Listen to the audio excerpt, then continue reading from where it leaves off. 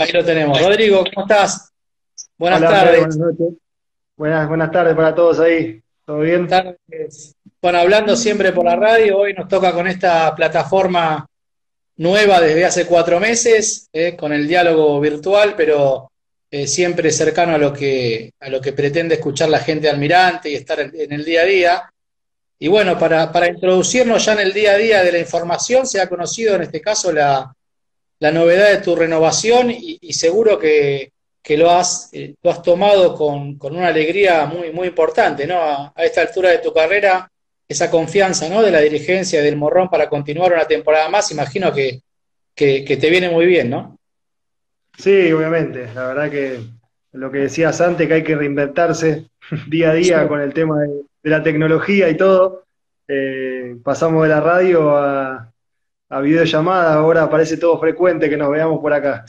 Pero volviendo, volviendo al otro tema, sí, la verdad que la confianza tanto de la dirigencia como del Morrón son fundamentales. Yo ya estoy en una etapa de, mi carrera que, estoy en un momento que soy joven para la vida, pero para la etapa de futbolista ya uno se va poniendo cada vez más grande, lógico, por una cuestión de edad, pero nada, tengo un convencimiento muy grande de que, tengo muchas ganas todavía de estar, vigente, así que nada, me sigo entrenando todos los días como para, para poder estar a la altura de las circunstancias y, y hacerle, hacer valer lo, que uno ha firmado este año, que, es una renovación hasta diciembre del 2021, así que la verdad que sí, muy contento, tanto con la dirigencia como con el Morrón.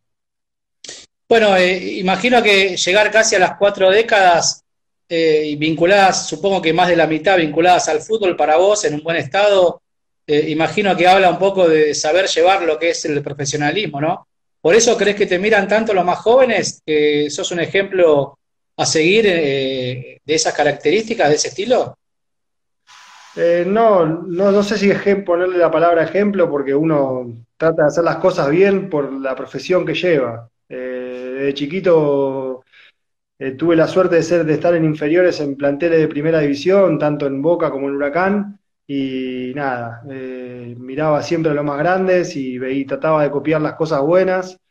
Supe y sé que en mi carrera pasaron capaz jugadores mucho mejores, con mejores cualidades que yo, pero yo siempre fui un tipo correcto y traté de llevar desde que era amateur, desde que era chiquito, llevar una profesión y tratar de, obviamente que tenía el sostén de mi familia, que, es fundamental. Eh, y traté de ser lo más profesional posible dentro de lo que se podía, de comer bien, de entrenarme capaz que en doble turno.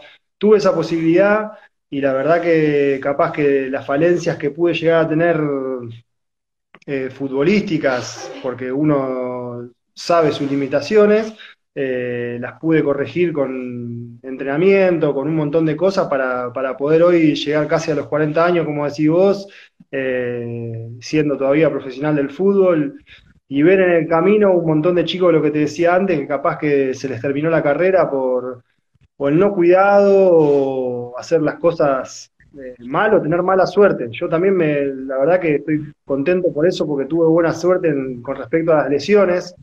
Tuve muy pocas lesiones en mi carrera, eh, casi nada, gracias a Dios. La única más, más heavy que tuve fue la última que tuve acá en Almirante, que fue, se me, me cortó un tendón del isquiotibial, que es muy poco frecuente, y que me llevó más tiempo de, lo normal que pensábamos todo que iba, que iba a ser, pero bueno, nada, eh, la verdad que, muy contento por eso y creo que eso me dio la continuidad como para, poder seguir estando siempre entrenado y siempre tratando de, hacer bien las cosas, que siempre fue mi, lema, de ser correcto y tratar de, hacer bien mi camino. Eh, esa, esa, lesión, bueno, vos volviste eh, la, tercera con, con Flandria, fue después de esa lesión lo que convertiste los dos goles yo me lesiono con el Boys en el 2019, a principios del 2019, y volví con Flandria ahora, después, casi un año había pasado. En la reserva, que hiciste los dos goles ese día a la tarde. Ah, claro, bueno, sí, jugué en reserva, sí. Le había pedido al Morrón que quería jugar, le pedí al Flaco Zabaleta que, que, quería, que quería jugar más que nada para, para sentirme vivo yo, que necesitaba, necesitaba ver si estaba todavía con ganas de sentir esa adrenalina de poder, de poder jugar. Pero la rompiste ese día. Yo, yo, fui ese día, lo vi el partido. De, Eh, fue un partido que, además tuviste la, buena, la buena veña de hacer los dos goles también. Sí, creo que, eso fue, ese fue bisagra, ¿sabes? Porque yo quería ver eso, quería, había hablado con el morrón eso de que sentirme vivo, de sentirme que podía estar a la altura de las circunstancias y me vino muy bien porque pude jugar, obviamente que, sumar minutos para uno después de una lesión tan, tan grande eh, es importante. Y tuve la suerte de hacer los dos goles, me sentí muy bien, me sentí cómodo. Los chicos de la reserva, la verdad que yo les aclaré el primer momento que quería sumar, que iba a ser por ese partido, que me podían decir lo que querían, que yo les podía decir lo que querían, que éramos pares. Y la verdad que los chicos, los chicos 10 puntos, jugué con Pakoski por un lado, con el chico este que tuvo el accidente, eh, Nico, no me sale el apellido ahora. Eh, pero nada, fue, fue, fue lindo porque uno se sintió cómodo y tuvo la suerte de, que lo que decías vos, hacer los dos goles y sentirse bien. Eh, bueno, seguramente lo hablaremos más adelante, pero tenés el chip de futbolista todavía porque de hecho renovaste y vas a estar hasta, hasta fines del 2021. Pero vos sabés que muchos dirigentes me dijeron, le vemos muy buena pasta para ser entrenador. Así que digo, porque... Se cortó.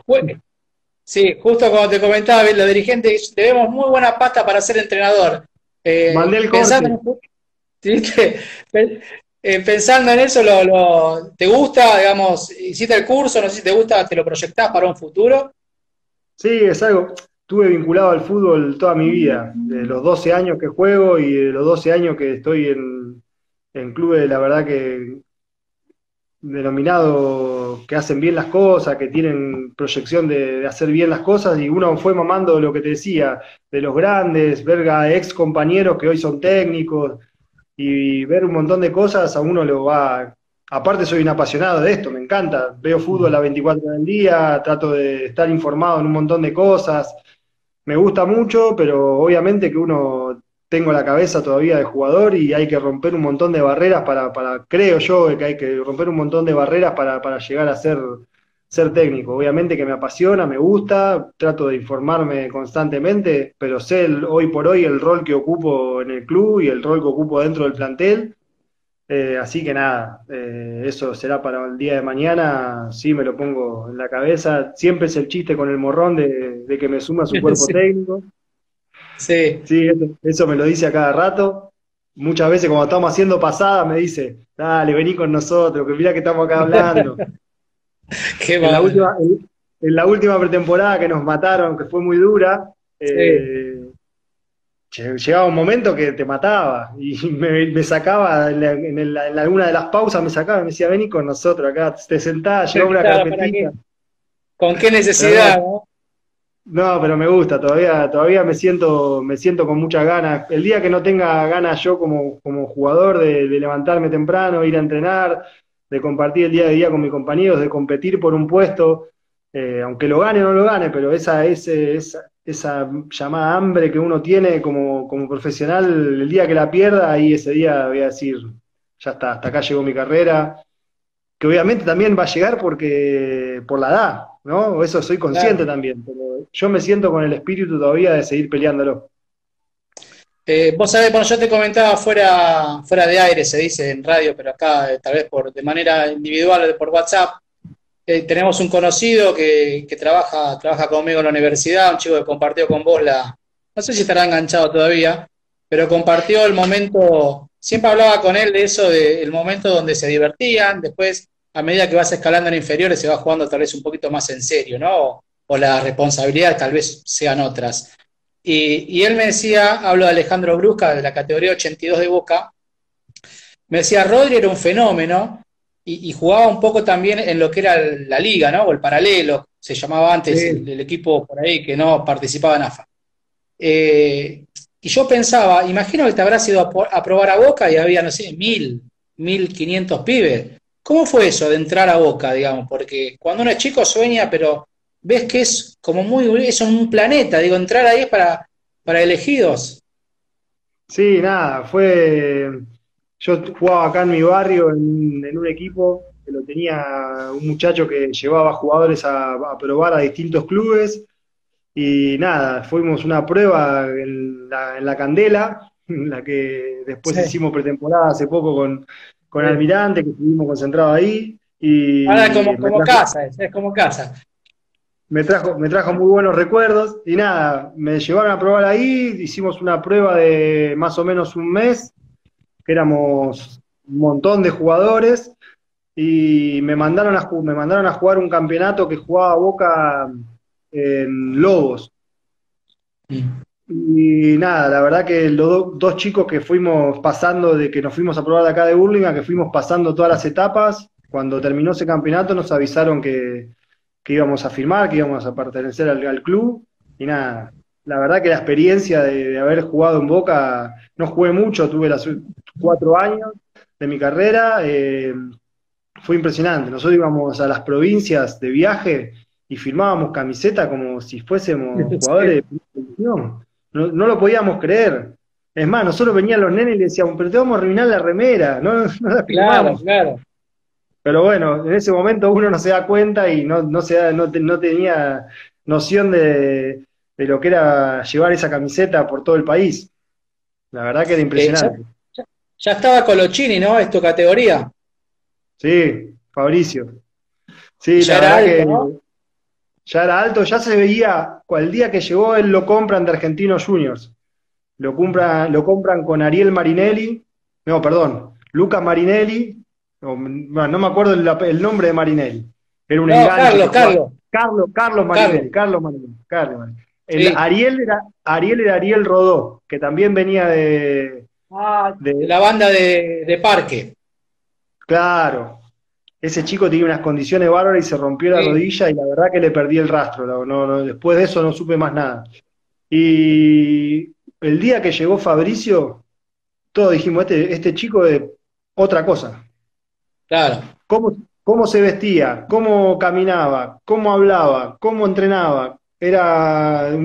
Después hizo la carrera que hizo, obviamente, que estuvo 10, 15 años jugando en Europa. La verdad que, que sí, ya se veía que era otra cosa.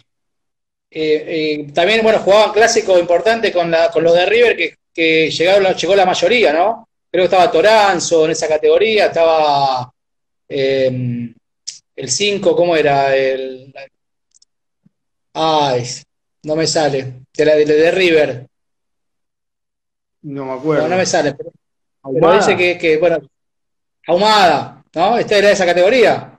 Claro, esa categoría. Sí, eran eran partidos recontra chivos. Yo no me olvido más una vez que nos peleamos con la reserva, de, eh, la reserva, la, creo que era la séptima división de Vélez, que estaba un chico que se llamaba Chirimbolo, que jugó en primera un tiempo ah, largo. Sí, que juega nueve, que juega nueve.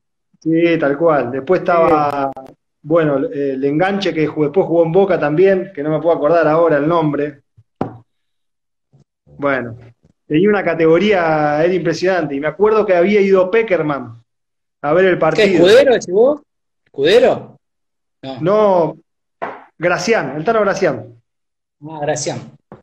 El Tano Gracián, de, de, volante jugaba otro chico también. Eran todos selección, estaban casi todos, la gran mayoría estaban en selecciones juveniles. Y me acuerdo que había ido Peckerman y, y, Tocali a ver el partido en cancha de Vélez, que era donde está la pileta hoy de Vélez, y no sabe lo que fue. Fue un desparramo de gente para todos lados y bueno, después de eso eh, me acuerdo que los chicos que estaban seleccionados, salvo Colochini, a la gran mayoría los fueron, los fueron apartando porque no iba con la, forma de pensamiento de ellos. De, lo, que eran los seleccionadores, como Peckerman y, y Tocali. ¿Y, y ahí cómo continúa después? ¿Hasta cuándo estás en Boca, en inferiores? No, en Boca estoy, me, lastimo la, me, lastimo la rodilla, no, tuve una, una, pequeña fractura en la rótula por una patada en la, en, en, un partido con Racing, un día de lluvia, en el predio de Racing, y nada, me hicieron la recuperación, me dejaron 10 puntos y me dejaron libre. Quedé libre.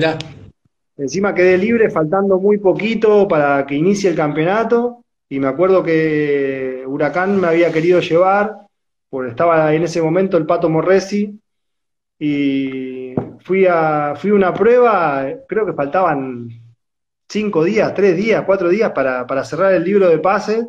Y nada, hice una prueba que jugamos un amistoso con Chacarita y de ahí me fui a la sede a, firmar y de ahí arranqué en Huracán hasta Primera División. Y, y, ahí el paso después de ya en Huracán, ¿con quién te tocó en la primera? ¿De técnicos? Sí.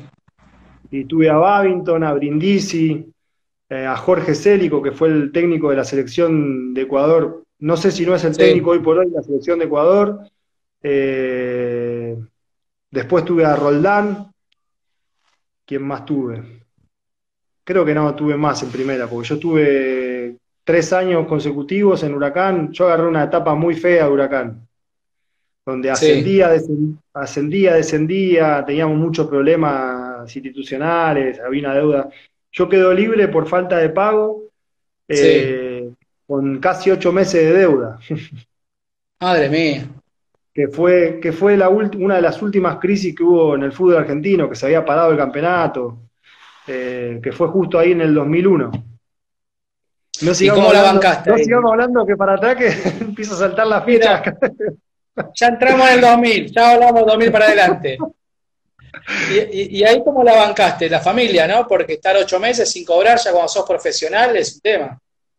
Sí, lo que te decía, yo tuve la suerte de que mi papá y mi mamá me, bancaron en ese aspecto siempre, eh, estaban, estaban atrás mío, me bancaron la carrera. Yo a los 18 años tuve un quiebre muy grande, que mis padres son uruguayos y mi papá acá quedó sin trabajo, con la casa embargada, con un montón de, líos y agarró y, se fue a vivir de vuelta a Uruguay. Con mi madre se fueron ahí, a los 18 años quedé en mi casa de, de, donde vivía de toda la vida, quedé solo, mi madre venía. Independizaste ya, a la fuerza. cada, cada 15, 20 días y bueno, yo firmé el contrato a los 20 años, cuando cumplí 20 años. Y me acuerdo que mi papá me llamó un día y me dijo, vos quedate tranquilo que no te va a faltar nada, pero vos tenés que seguir jugando a la... Porque ahí tuve un quiebre también de decir, bueno, sigo jugando o, me pongo a estudiar o me pongo a trabajar. Y nada, la verdad que tuve, tuve el respaldo de, mi familia siempre y la verdad que seguí jugando y se pasó ese, ese momento. Yo ahí me fui a préstamo a, a Flandria, y nada, después quedé libre por falta de pago porque ya no se, no se podía. Otra vez dijiste. Otra vez con la. para lidiar con, eso, ¿no? Eh, eh, a, lo largo de tu carrera tuviste que lidiar muchas veces con, ese tipo de cosas. Y el jugador se, se, acostumbra a vivir así un poco, a tener que estar siempre viendo cómo, cómo resolver un montón de situaciones, tanto en lo económico como en lo que es la vida en sí, que muchos chicos no han formado pareja o, se ponen de novio muy, de muy chicos y después se separan, tienen hijos, eh, es algo muy complejo porque cuando te dedicas directamente a lo, a lo futbolístico y dejas de lado un montón de cosas. A mí me ha pasado de, de mis amigos han ido a bailar, se han ido de viaje egresado, distintas situaciones que tiene un adolescente en la vida y uno las va perdiendo, quedan, quedan en, otro, en otro lado. Me acuerdo que cuando estaba en Huracán yo me iba ahí de viaje egresado. Yo me acuerdo que juntaba la plata, la ponía siempre en una cajita. Era Río de la Plata la empresa. Y... bueno, yo también me fui por Río, quédate, quédate tranquilo que hay gente que se fue por Río también. Somos contemporáneos. Por eso. Bueno, y me acuerdo que dije, bueno, la voy a pagar, había arreglado con, el, con la gente que pagaba todo junto para irme de viaje, cuando arreglara todo en el club, porque no se sabía qué iba a pasar. Y fui al técnico en ese momento, era Ariel Víctor, un marcador central de Independiente. y le, Independiente, y le, fui a, decir que, que, ¿cómo se llama? Que me iba de viaje egresado, que iba a faltar una semana al club. Y yo ese año me fui de pretemporada con primera división, ese, ese verano, era en septiembre esto. Y las textuales palabras fueron, bueno, quédate tranquilo que el bolso tuyo de, para la pretemporada se lo vamos a dar a otro muchacho. Y llegué, llegué a mi casa, me acuerdo, me subí al 114 de, de, donde entrenábamos con Huracán, hasta mi casa, pensando qué hacer, si le daba valor a lo que venía haciendo de los 12 años o me iba de viaje egresado con mi compañero.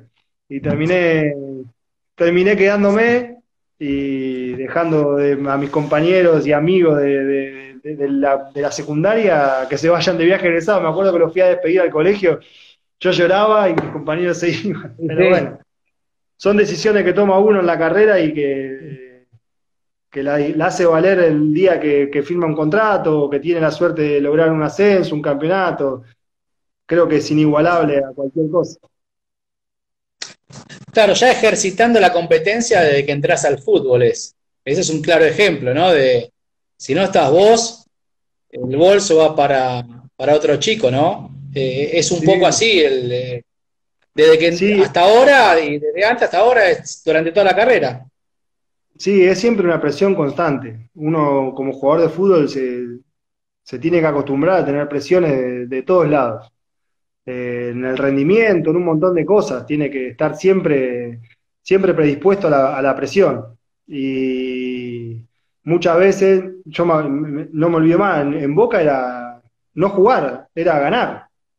Lo que te decía Ale, que a medida que vas pasando los años eh, en Boca, nosotros perdíamos y era catástrofe, ¿eh? Y cuando es una etapa de crecimiento de, de, un chico que tiene que divertirse en vez de tener esa presión. Entonces uno ya la va, la va incorporando de chiquito y siempre, siempre está, está, en contacto constantemente con esa presión de, tener que ganar, de, ser exigente en todo sentido. Hay chicos que lo pueden absorber mejor y hay chicos que no. Hay chicos que se, muchas veces se frustran, muchas veces terminan sus carreras anticipadas, pasan un montón de cosas. Ahí te mandaba saludos Luis Lago, un fenómeno, la verdad, una institución dentro de, Almirante. Y me hiciste acordar porque yo le pregunté a Nacho hace poco, él ya no se iba a ir de viaje egresado, ya lo tenía resuelto hace como dos años atrás. Ya dijo, no, ya no, no me interesa. Pero viene a cuento de eso, ¿no? Cómo, cómo hay esfuerzos que por ahí la gente ni se entera que, tuviste que hacer eh, en pos de, continuar con, con, la carrera futbolística. Ah, hay un montón de cosas no hay casamiento, no hay cumpleaños, no hay un montón de cosas. Yo los, cumpleaños de mi, de mi, cuñada nunca, nunca estoy. Desde que, y siempre, siempre me dice lo mismo. El día que te retires vas a poder disfrutar de un cumpleaños mío. encima, eh, mi cuñada hace lindos cumpleaños, va mucha gente, la pasás, la pasás muy bien. Y nada, no, nunca estoy. Porque son el, es el 6 de enero, y el 6 de enero, la gran mayoría de veces, estoy encerrado de pretemporada, es casi imposible. Así que. Ahí dice Seba, Seba Castro, también saludo para él, otro fenómeno. Hincha de Mirante dice: ni los cumple de 15 van los chicos inferiores. Claro, esa es una época tremenda. El ah, de 15 que. Sí, yo me he perdido un montón de cosas. De, un montón de cosas. De, aparte, vos vivís a contramano. Claro. En, la, semana vos capaz que tenés otros permitidos de poder acostarte un poco más tarde, pero ya cuando se acerca el fin de semana que, todo el mundo se empieza a relajar, vos te empezás a tensionar porque el fin de semana tenés la competencia, tenés que llegar a la mejor manera ahí. Entonces, viví siempre, cuando viste la gente dice, hoy es viernes, que, y ponen el videito de hoy es viernes y, tu cuerpo lo sabe. Bueno, nosotros el, al revés, en vez de tener esa relajación y estar distendido, no, al revés, estás así, tensionado, porque sabes que dos o tres días o al otro día tenés un partido y tenés que rendir de la mejor manera y estar a la altura de las circunstancias. Entonces, son un montón de, de cosas que uno se va acostumbrando y va, va, va asumiendo. Claro, tenés cabeza de profesional en la adolescencia, en una edad donde no debiera importarte mucho y sin embargo ya usted ya les hace el clic de temprano.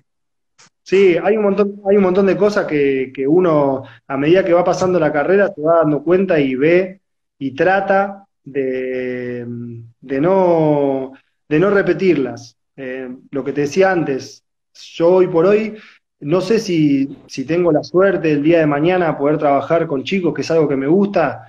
Eh, no sé si le pondría tanta presión en el momento de la competencia porque hay una etapa de la vida que vos no podés, aparte como está la situación social hoy por hoy, eh, tenés un montón de cosas que, que influyen. Vos no sabés qué, es lo que vive el chico en la casa. Vos no le puedes exigir a un chico de 14 años, de 12 años, que es ganar o morir. que es eh, que sos vos contra el otro que lo tenés que pasar por arriba, porque no sabes el grado de violencia que hay en la casa, en la sociedad, de que, que él se maneja. Hay un montón de cosas que hoy por hoy las miro a mi, a mi, hago una retrospección de lo, de lo que fui yo, y no sé si lo, si hoy lo estaría bueno aplicarlo, porque hay un montón de cosas que fueron cambiando, que en mi momento también existían, ¿eh? no es que digo que no existía. Existía, pero, no era tal vez, ¿no? No, y capaz que no era tan visible, había otro, otro, otro silencio, era más, era otra cosa, la gente no, no, esas cosas no las manifestaba.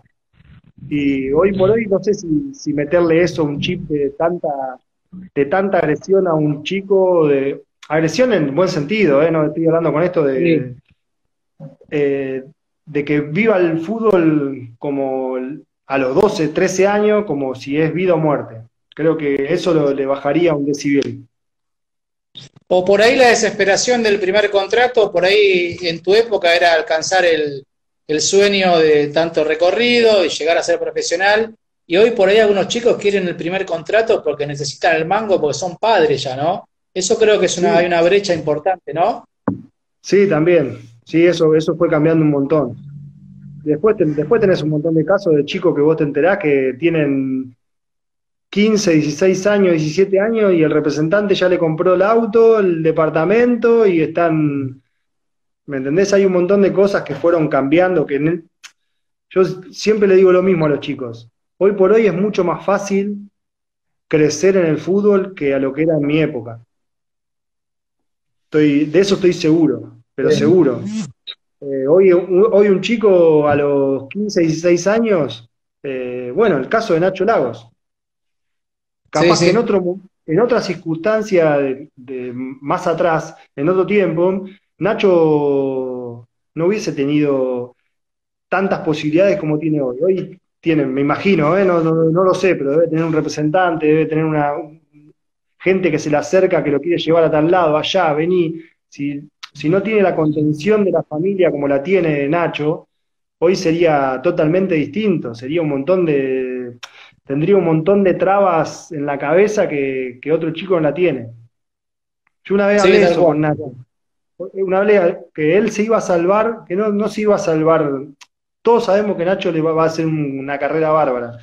Pero yo lo que le decía era que, que él no, no se ponga trabas de eso, que él se siga divirtiendo y que él haga en la, que en la cancha exprese, exprese lo que él siente y ve del fútbol que creo que es la mejor manera de que se va, a ganar un montón de cosas. Que después lo demás le va a llegar solo, pero que él no ponga trabas en su mente para no, no poder seguir creciendo.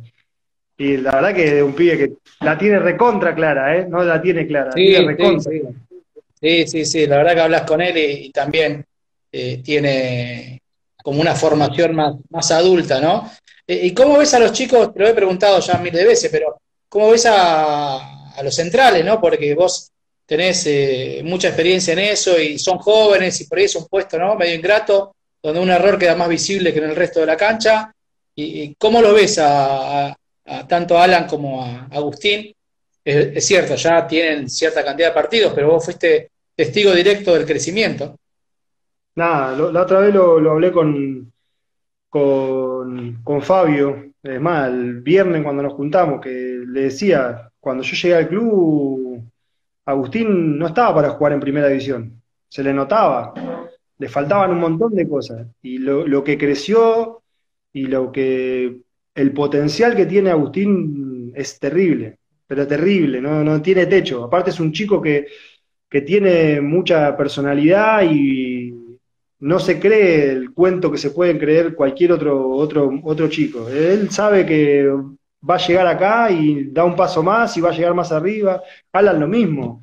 Alan es un chico que tiene una personalidad. Alan es callado, no es un pibe que, que es como Agustín, que más tiene otra, otro diálogo, no. Es más callado, pero tiene, la tiene, tiene muy claro su objetivo. Entonces creo que, aparte de las condiciones futbolísticas que tienen, tienen eso. Entonces se potencia todo mucho más. Alan, Alan tuve la suerte de jugar al lado de él y, vos lo ves que es un, jugador grande. es un jugador grande, tiene los movimientos de un jugador grande, de, experiencia. Eso se lo, eso se lo da, eso se lo da el roce y se lo da lo que él fue mamando de chiquito. Lo mismo que Agustín.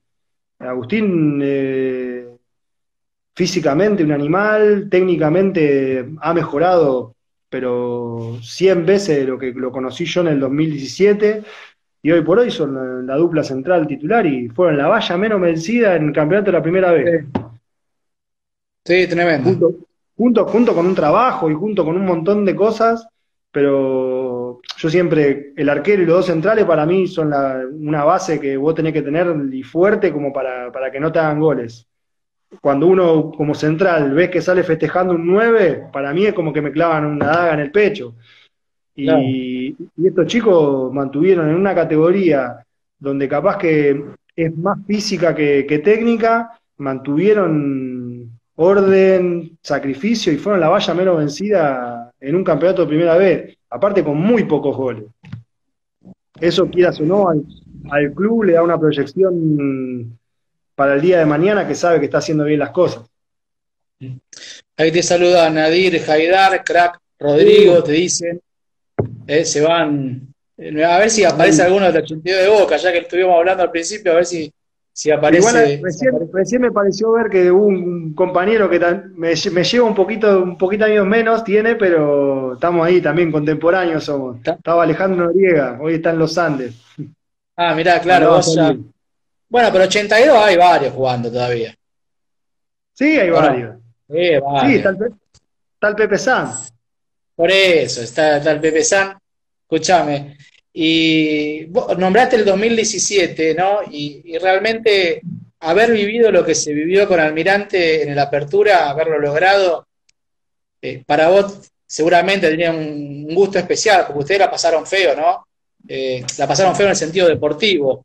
Eh, ni, me quiero imaginar de, de, los chicos como Campo, Canán, que debutaron antes y vienen transitando una década que Almirante no salía campeón del 2010 y tuvo un camino muy, muy irregular, muy, muy bajo en lo deportivo y, a vos también te toca en esa época, un poquito más para acá, pero el, 19, el 2019 fue como la explosión después de, la amargura, vos haciendo el gol contra San Carlos, es como una película.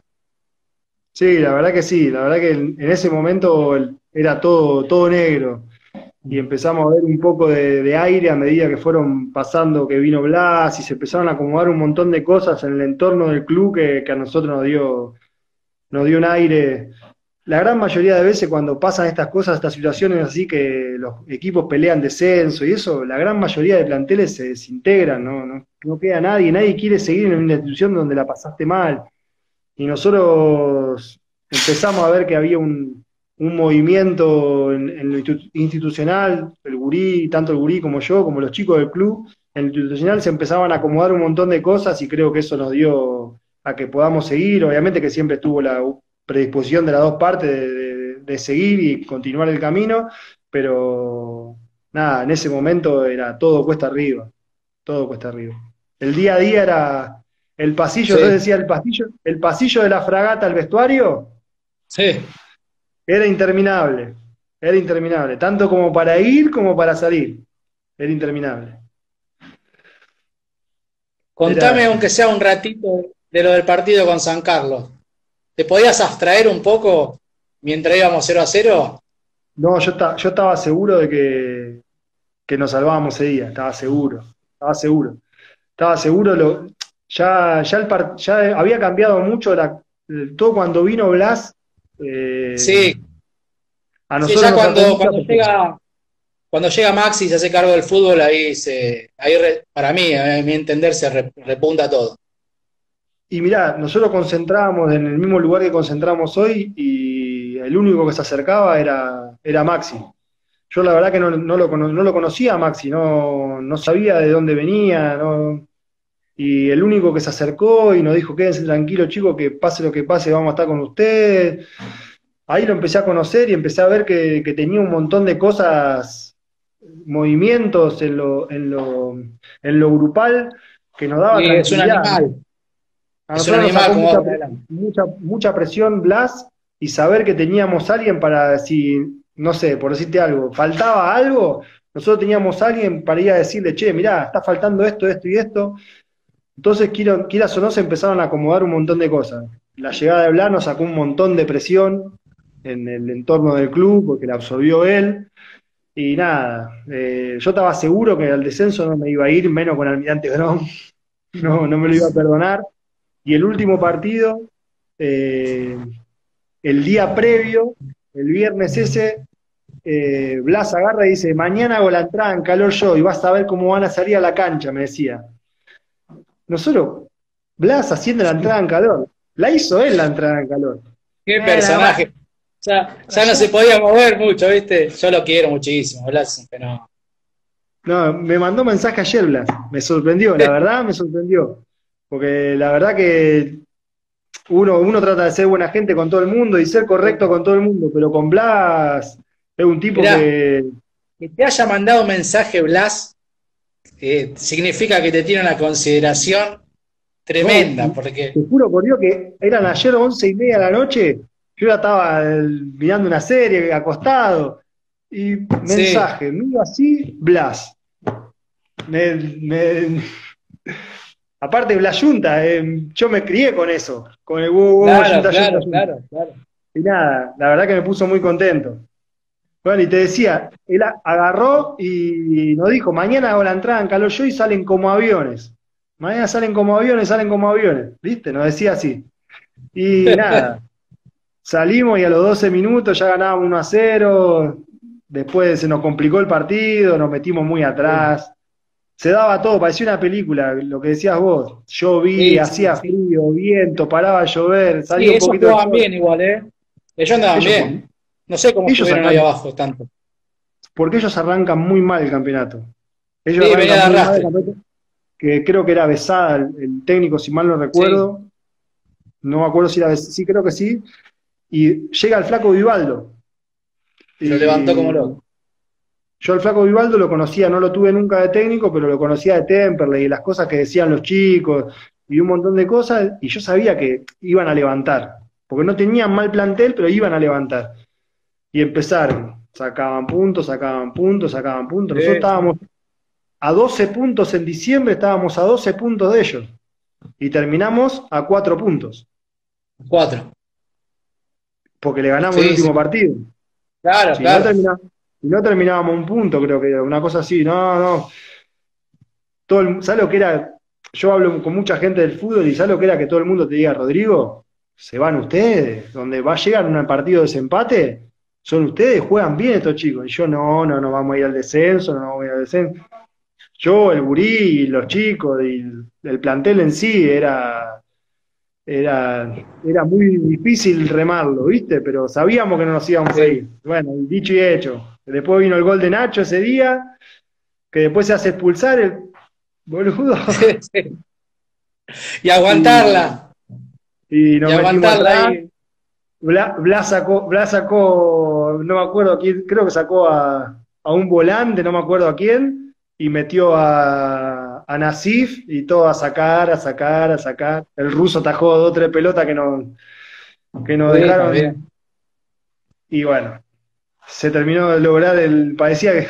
Después vino la frase: vengan, boludo, vengan a festejar. Nosotros queríamos, nosotros nos queríamos ir y la nos mandaba de vuelta para que sigamos festejando con la gente. Que no había mucho para festejar, pero después del año que habíamos tenido tan duro, sí, eh, fue un, afuera, la sensación que estaba de afuera, primero eh, todos entumecidos, estábamos como amatambrados, ¿viste? Porque había cierto temor. El que no juega, el que lo vive de afuera, ¿viste? Era imposible que no se pudiera traer a, a imaginarse en la C, porque como estaba el club, decíamos, no volvemos más a la C e, ese era el pensamiento que teníamos.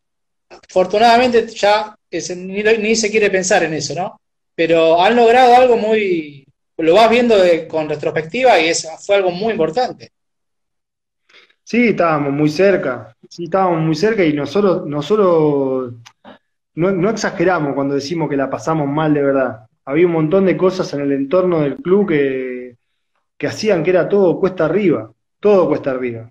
Eh, y teníamos muchas cosas al alcance de la mano que, que, eran fáciles de conseguir, pero se hacían dificilísimas. Y aparte de eso, que nosotros no, no, no funcionábamos dentro de la cancha, el entorno del club era malo, y aparte de eso, a mi entender, ¿eh? muchos partidos nos han eh, puesto una traba más. Eh, tanto me acuerdo un partido, me acuerdo un partido con, con, Cancha San Miguel con Fénix, nos cobran un penal que nada que ver, nos empatan el partido y después lo pasamos a perder un gol de afuera del área, teníamos esa mala suerte y aparte de eso nos cobraban penales, era todo, todo muy cuesta arriba, muy cuesta arriba. Nos sacaban, nos mandaban a jugar a la cancha de Aguay, después italiano. Eh, nada, era, era, era todo muy No había plata, no había plata para abrir el estadio. Nunca pasó algo así, fue algo insólito eh, en la historia. Un saludo a, Sergio Atencio, que cumple años hoy, cumple 50 años, ahí lo vi conectado también. un saludo para él, un grande. Así que eh, eh, seguramente recordar todo eso, insisto, volver al título, ¿en qué pensaste en ese momento ahí en la cancha de Platense? eso te viene un poco a la mente, ¿no? Sí, no, nosotros, yo no tuve la suerte de jugar mucho desde yo jugué un ratito con Sacachispa, fui un par de veces al banco, pero la verdad que el grupo el cuerpo técnico, mismo los dirigentes, me han hecho parte de eso, ¿viste? Muchas veces los jugadores, cuando no son parte fundamental en el sentido del ensamblado del equipo y no son titulares, muchas veces se van alejando, por una cuestión lógica, se van alejando. Y la verdad que el grupo, tanto Pipi, el Gurí, los más grandes, me hicieron siempre estar vigente. Yo concentré todas las fechas, fui a todos los partidos me, hicieron, me hicieron sentir muy, muy presente todo el tiempo. Y nada, cuando me acuerdo que termina el partido, yo estaba dentro de la cancha, tuve la suerte de hablar con el árbitro para que me deje ver el partido adentro de la cancha. Y nada, terminó y me quedó el pipi de frente así, a tres metros, arrodillados, así, agradeciendo. Me acuerdo que me le tiré encima, nos abrazamos y nada, eso ese, ese es cuando vos lográs un ascenso, mismo salir campeón, en este caso, eh, es algo como lo que te decía antes, ahí haces un, un rebobinado rápido de tu, de tu carrera, de las cosas que has pasado, de los momentos buenos y malos, y nada, no, hay, no es comparable con nada. Creo que se compara al nacimiento de un hijo, al, al crecer como, como persona y familia, pero esa, esa, sensación de que te sentís, que vos sabés que mañana tenés que salir a trabajar otra vez, que tenés que, no es que te cambia la vida, tu vida sigue igual, pero es como llegar a tocar el cielo con las manos, es, inigualable salir campeón. Imagínate que se festeja, yo lo veo con mis amigos, ganan un campeonato en una canchita de fútbol 5 de acá y lo festejan. Bueno, eso multiplicalo, cuando estás en un club grande como Almirante, multiplicalo por un montón de socios, hinchas, gente allegada, un montón de gente que es una masa de energía muy grande, muy grande. Lo que vivimos nosotros en la ida y en la vuelta a la cancha de Platense, no lo viví en otro lado. tuve, la suerte, tuve la suerte de ascender con Temple a primera y se, disfrutó, se, pero acá se cortó la General Paz se cortó la General ¿no? La gente no pasaba, de provincia a capital no pasaba. Decime, decime dónde viste un presidente subido al techo de un auto, revoleando la, camiseta del trayecto de Vicente López a la bajada ahí de, Ruta 3. O sea, claro, nosotros eso, eso no lo vimos nosotros en el, en el momento, eh. nosotros lo vimos. Y después cuando nos empezaron a llegar, porque te manda todo el mundo imágenes, te mandan videos, te mandan esto, vemos que con la cabeza, con el cuerpo medio afuera, con una camiseta de almirante, ah, fue increíble, fue increíble. La energía. García Saavedra. Sí, sí, Cristian García Saavedra, bueno, los chicos de la defensa se potenciaron con un referente como Rodrigo en el plantel, eh, parte importante del equipo. Y vos sabés que es algo que también lo dicen los, los chicos, ¿no? Cuando uno puede charlar con ellos, eh, imagino que también ese es un, un, buen, eh, un buen aliciente para vos de cara a, lo que se hizo esta semana de renovar tu contrato, ¿no? Sí, creo que, eso es lo que te decía antes, que el camino está, está bien hecho. Uno trata de lo que te decía, lo que te dije del principio, que uno trata de hacer las cosas bien y ir por un, por un camino de siempre ser leales a los compañeros. Y nada, cuando te lo hacen valorar, te lo valoran y te lo, te lo, te lo hacen ver, es, muy lindo, muy gratificante. La verdad que desde, que desde que yo me dedico a esto, en todos los clubes, menos en Temple, que había cuatro o cinco muchachos muy referente con el club y con un sentido de pertenencia muy grande. En todos los lugares que jugué, tanto en Chile como acá, fui capitán. Y no fui capitán porque le sobé el lomo a nadie. La verdad que siempre fue por, porque mis compañeros me han puesto en ese lugar y uno trabaja y trata de ser lo más simple y lo más concreto con su compañero. Creo que muy pocas veces he tratado de, de no decir la verdad, porque a veces la verdad es difícil de enfrentarla, pero siempre a mi manera, de una forma u otra, siempre a mi compañero y a mis colegas le traté de decir la verdad y ser honesto, tanto con ellos como conmigo. Entonces, cuando, cuando los chicos lo valoran eso, a uno lo pone muy contento. Y más, que nada cuando lo, lo valoran los chicos que juegan con vos en tu posición hay, una competencia normal y lógica que es por ganar su puesto, porque esto es siempre lo mismo. Hay una tercera persona que dice, este juega, este no. En este caso, en este caso el morrón. Y nada, que, tu compañero, que vos estás peleando un puesto eh, figurativo, ¿no? algo normal, eh, que lo valore eso es la verdad que, a uno lo deja, lo deja, lo, lo, enorgullece y lo deja, lo deja bien, que hizo bien su camino. Bueno, igual eh, el puesto a cara de perro, ¿eh? Vas a seguir peleando el puesto como siempre.